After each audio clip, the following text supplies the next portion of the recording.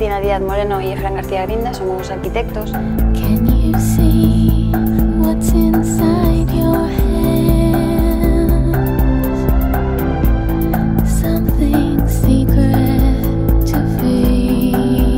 Nos vemos en Estudio Banana Televisión.